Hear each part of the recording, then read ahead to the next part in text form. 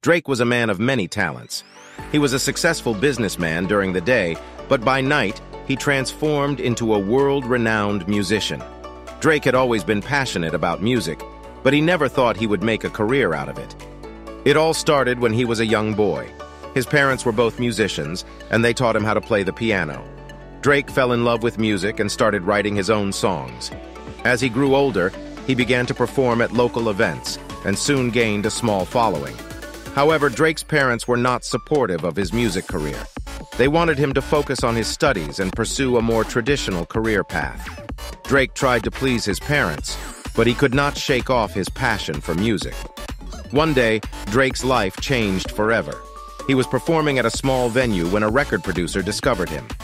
The producer was impressed with Drake's music and offered him a recording contract. Drake couldn't believe his luck.